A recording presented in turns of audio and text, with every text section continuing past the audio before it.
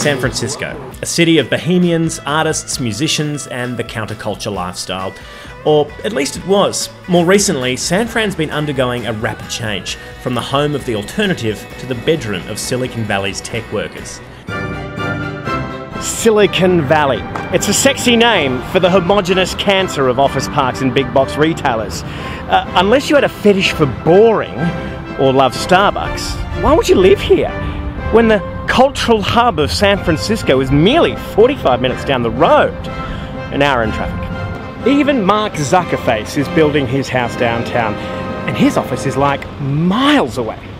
As the wealthy tech millionaires move into the city, the rents are climbing higher than a Twitter IPO. And just like high school, as the nerds move next to the cool kids, the cool kids find somewhere else to be.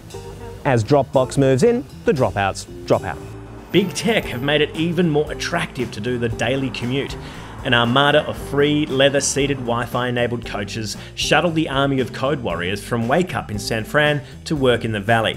These Google buses have become the icon for inequality in San Francisco.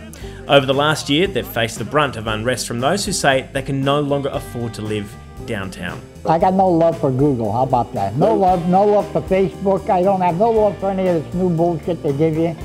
That's all they do is uh, create more difficulty and more more problems. They don't do a thing. Do they make a corsage? Do they make a flower bouquet? No. Do they cook any food? No. What do they produce? They produce bullshit. Now, some people are calling this rapid change hyper-gentrification. I prefer the term technic cleansing. This is not the first time that this city has experienced this kind of rapid gentrification.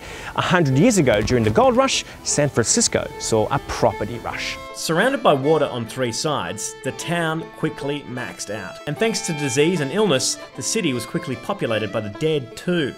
There were once over 27 cemeteries in San Francisco, but no one has been buried there since 1901. Lawmakers declared that San Fran's land was too valuable to be wasted on the dead.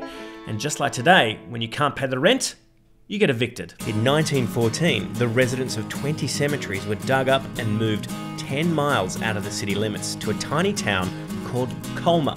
Most of the people in San Francisco wanted to keep their cemeteries even though they were full and they weren't being taken care of, they still wanted their families to be remain there. Unless you had $10 to remove the body, the bodies were put in mass graves. And the way they got the families to agree to it, one of the ways was that Colma will be deeded as a cemetery town bodies would never be disturbed for a minimum of 500 years. 500 years would never be touched again. It's an unusual town. There's, you know, all, there's closing in on 2 million people buried here and about 1,500 alive. It still is a cemetery town. That's the whole idea of Colma. Colma is known as a cemetery town, and it's the only town in the entire United States that was created as a cemetery town specifically for burials. The main industry is in Colma, are still monument companies, cemeteries, and floor shops. And it, you know, like if you drive through uh, Cypress Lawn, especially, um, the way that that uh, cemetery is run is just amazing. It's a huge, I mean, it's a huge business, huge corporation. Um, there's you know, historical dead people that are buried here. Wyatt Earp is buried here. Uh, Joe DiMaggio is buried here.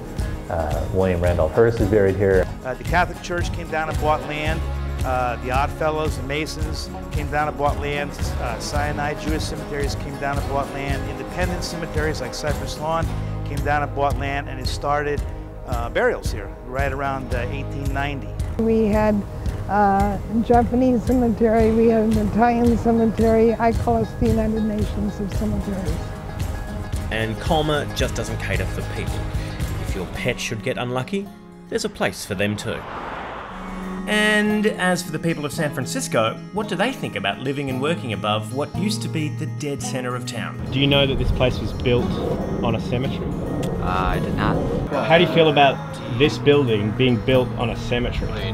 This building was? Tell me about the people of the area when they when they're growing up knowing that they were living above cemeteries. What was that like for them? Some people don't know that. Some people don't know that. So so it wouldn't even probably matter. It's pretty cool. I mean, it's kind of scary here at night in the fog. I don't know. I don't really have a problem with it, to be honest. I mean, I don't know. I'm an atheist, so it's like when you die, you die. Like, sorry, there's not enough room for the bodies. The whole, I believe the whole world's cemeteries, man. The whole world is cemeteries. Got to bury people somewhere. So it doesn't bother me at all. Our slogan is actually, it's great to be alive in Colma. That's our slogan.